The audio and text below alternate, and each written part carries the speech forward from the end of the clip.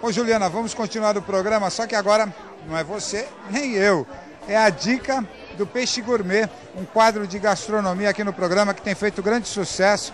Peixe Gourmet convida chefes aí estrelados da nossa cidade para elaborarem pratos que você pode fazer aí na sua casa com produtos da loja Peixe Gourmet. Olha, pratos deliciosos e um peixinho vai muito bem, né, Ju? Nossa, demais! E é incrível como os chefes explicam de uma maneira tão didática as receitas que eu acho que até eu ia conseguir fazer, não levo jeito, mas eu fico com vontade de ir lá comprar os ingredientes, são sempre fresquinhos, da melhor qualidade e me arriscar também. Ah, sem dúvida. Vamos ver qual é a receita de hoje.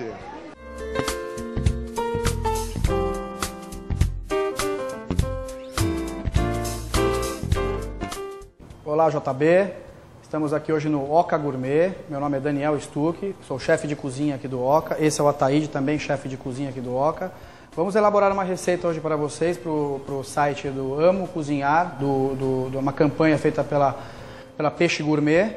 Então vamos preparar um risoto de frutos do mar, que vai mexilhão, camarão e lula. Tá? Vamos começar? Então a gente está usando um, um arroz, um arroz arbóreo, um arroz típico para risoto, é um arroz especial é, da La Pastina, que é vendido também no Peixe Gourmet. A gente tem um pacote aqui de arroz arbóreo de mais ou menos um quilo. Vamos fazer uma metade, vamos fazer mais ou menos uns 500 gramas, que dá mais ou menos uns dois pratos. Então vamos derreter bem essa manteiga e vamos dar uma fritada rápida na cebola e na sequência a gente já joga o arroz. Tá? Para cada, cada mais ou menos 500 gramas, a gente pode estar tá colocando uma cebola picada, tá?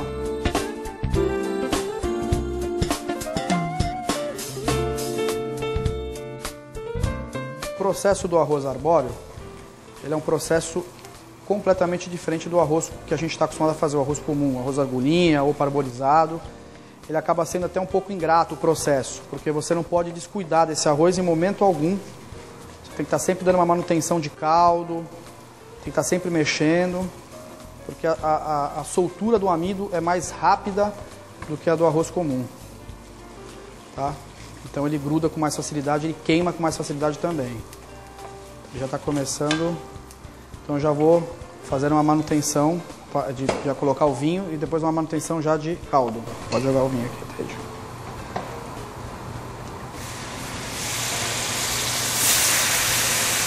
E já vou começar com o caldo.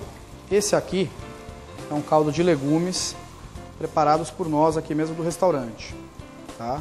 Mas para o pessoal aí de casa, pode estar usando esses caldos mais tradicionais, para não ter tanto trabalho de fazer o caldo. Então, a gente vai ficar mexendo aqui por mais ou menos aproximadamente de 15 a 20 minutos.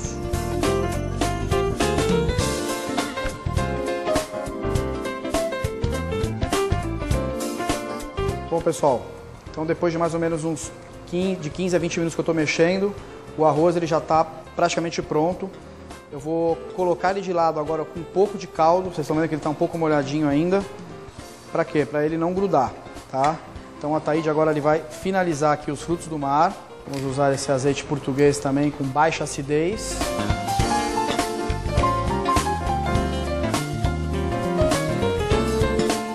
Vamos começar puxando primeiro essa lula. Um pouco de alho.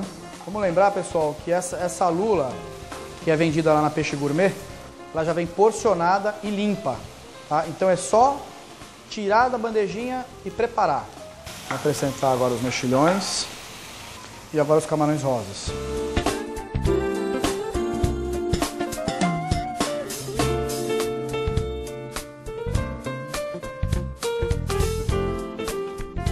Bom, estamos finalizando aqui os frutos do mar, a lula, os mexilhões e o camarão, tá?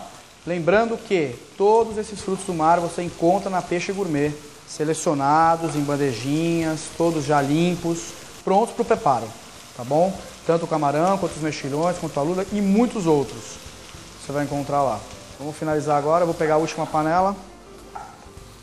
A panela onde já estava o arroz, o arroz já está pronto. vou acrescentar uma conchinha só de molho de tomate, uma pitada razoável de parmesão, um pouquinho mais de manteiga então vou começar a misturar os frutos do mar, a lula, o mexilhão e o camarão rosa.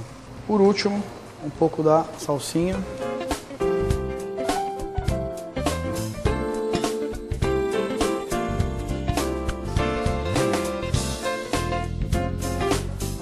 Bom, pessoal, já está pronto aqui o risoto. Vamos finalizá-lo no prato.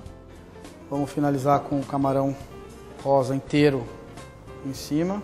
E algumas ervas aqui que a gente costuma decorar os pratos, que é o tomilho, o alecrim e um pouco do broto de alfafa.